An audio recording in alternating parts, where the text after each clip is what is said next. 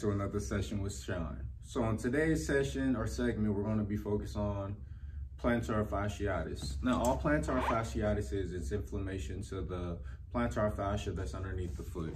So for those who don't know, the plantar fascia runs from the heel of the foot all the way into all the different ligaments of the toe. So one links to the big toe, the middle toe, pinky toe, and all the big toes. Now, a lot of people wake up in the morning and they have foot soreness. So today I'm going to show you guys a couple stretches that you can do to get your day started right. So without further ado, let's hop right on into it. So the first thing that I want to show you that you can do in the morning is you simply can roll up to the edge of your bed, sit on the edge of your bed, take one leg, cross it over the ankle right above the knee. And what you want to do is massage or stretch out the fascia of the foot. So what you want to do is take your two thumbs. You're going to bring them to the center of the foot you're gonna just gently push down to apply enough pressure to make sure that you're squeezing the muscles of the foot.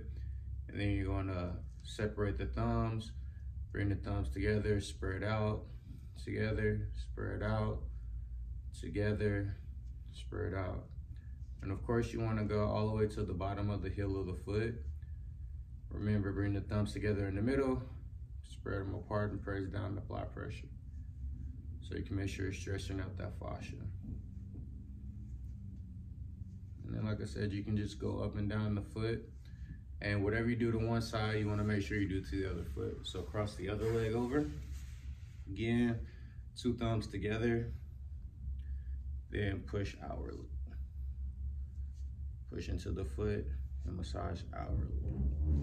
All the way down to the bottom of the foot. And you can do that about three to five times and it should alleviate some of that pressure or tightness that's in the foot.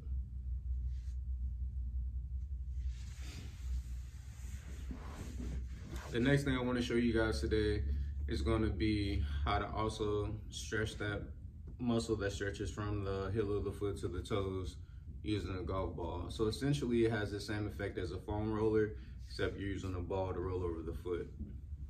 So what you're gonna do you could be sitting on a flat surface, your bed, yoga mat, the floor, any type of surface that you have. You're going to put the ball underneath your heel, right under the balls of your feet, and then you're just going to roll it back and forth. Again, the same thing when you're using a foam roller, you want to find the tight spots and allow your foot to just rest on it so it'll have time to release that muscle back to um, the position it was in before it got knotted.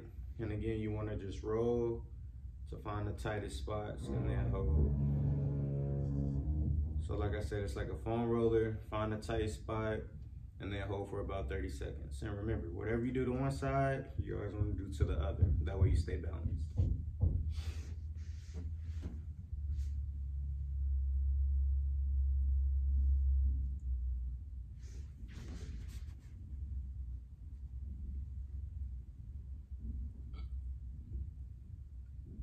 Remember, breathe.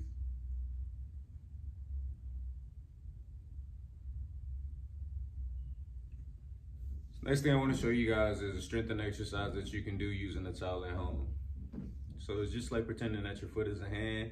It's like you got hand muscles, you got foot and toe muscles as well. So we're going to be utilizing those. So what you want to do is spread your towel out so it's flat.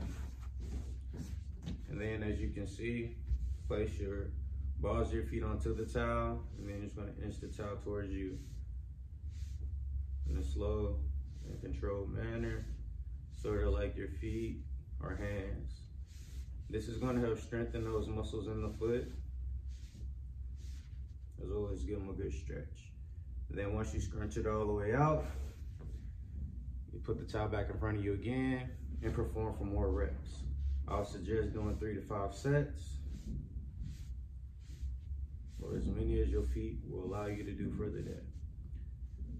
Now you can do it together like I showed you, or you can simply do one foot at a time if that's what you would prefer. It would be the same thing. Just bring the toes towards you and scrunching that towel up.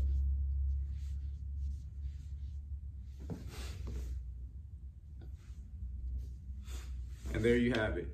Um, a couple things that you can do if you're suffering from plantar fasciitis. Thanks for tuning in to a session with Sean. Catch y'all next time.